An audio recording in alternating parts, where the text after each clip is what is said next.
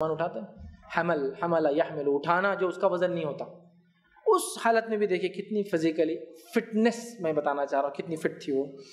जंगी यरमुक का वाक़ लीजिए, आखिरी वाक़ बस बात को मैं ख़त्म करूँ। जंगी यरमुक का जो टर्निंग पॉइंट है वो सिर्फ़ औरतें हैं, मर्द नहीं है।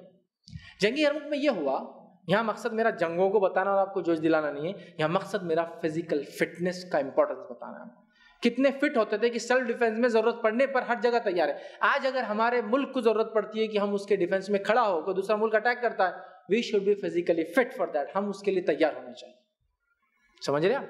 इसके लिए हम रेडी होना चाहिए। हमारे मर्द, हमारी औरतें, हमारे बच्चे डिफेंस में। ठीक है, हमारी आज़ादी, हमारे मुल्क की आज़ादी, हमारी आज़ादी है। अपनी आज़ादी के लिए इंसान लड़ सकता है, याद रखिए। होना चाहिए। क्योंकि उन पर लोग दुश्मन अटैक करा कि उनको सुकून से नहीं रहने देना चाहता। ठीक है? जंग यरमुक क्या हुआ? ये बहुत डिसाइसिव बैटल था। मतलब हुआ ये कि उधर से रोमियो ने क्या किया? मुक्का मिल मुक्का मिल लगा दिया अपना ज़ोर मुसलमानों को हराने के अंदर। उस जंग में हुआ ये कि जब जंग शुरू हुई तो दुश्मन गालिब आ गया। दुश्मन की फौज हिस्टोरिकल एविडेंसेस के मुताबिक एक लाख पचास हज़ार से दो लाख के करीब थी। और अरब हिस्टोरियंस के मुताबिक दो लाख चालीस हज़ार थी। तो दो लाख चालीस हज़ार दुश्मन की फौज थी। और अरबों की तारीखी एतबार से पंद्रह हज़ार तादाद थी। और अरब क्रॉनिकल्स और जो क्रूसेडर्स है, जो सामने वाले थे, उनके मुताबिक चालीस हज़ार थी। मतलब forty thousand is to two lakh forty thousand का रेशो में जंग चल रही है तो दुश्मन को पता है ये लोग हम क्रश कर सकते दो लाख चालीस हज़ार की फौज चालीस हज़ार बहुत कम होते हैं।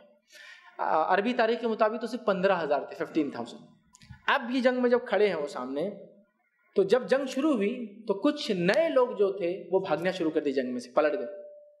जब जंग से ये लोग पलटने लगे तो औरतें जो पीछे खाना बनाने, पानी पिलाने, जख्मियों को वो आगे बढ़कर आई, जिसमें उम्म हकीम, वही जो डंडे से मारा था, वो भी थी उसमें, ठीक? हिंदा बिंद उतबा, अबू सुफियान की बीवी, ठीक है रज़ी अल्लाह ठीक असमा बिनते अबी बकर और बकर सिद्दीक की बेटी, ये तीन खास शख्सियतें थी इसमें, कई औरतें थी और, ये सब की सब क्या की, घोड़े पे सवार हुई, और घोड़े पे सवार होकर तलवार लेके जंग में घुसी, और एक एक फौजी को वो करती कि अरे शर्म करो, मर्दो भाग रहे हो, चलो इधर।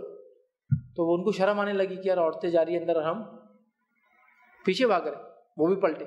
सिर्फ़ ये लोगों ने उन्हें क्या, ये जंग में घुस गई औरतें, पूरी पूरी की पूरी, पूरे घमासान जंग के बीच में घुस गई। अभी मर्द भाग रहे और औरतें घुस रही है अंदर।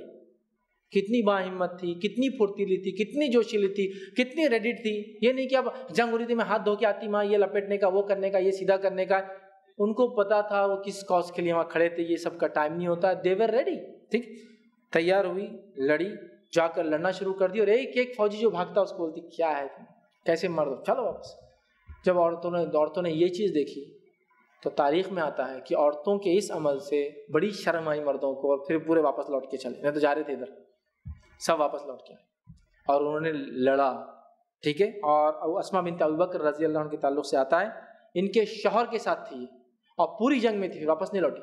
पूरी जंग में मियाँ बीवी साथ थे। एक दूसरे के डिफेंस करते, आपको बताया ना, दो लोग हो जाए तो एक डिफेंस करता पीछे से, दूसरा अटैक करता।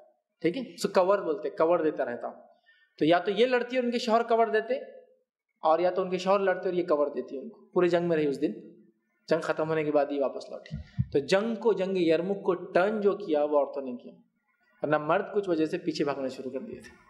और औरतों को पता था, अगर ये पीछे भागे तो दो लाख चालीस हज़ार इनको मसल के रख देंगे और पूरा खत्म कर देंगे।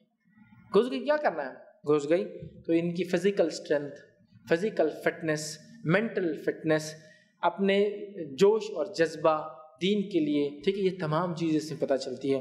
तो ये औरतों की ख़ास मैंने बहरहाल मिसालें आपके सामने रखी घुड़सवारी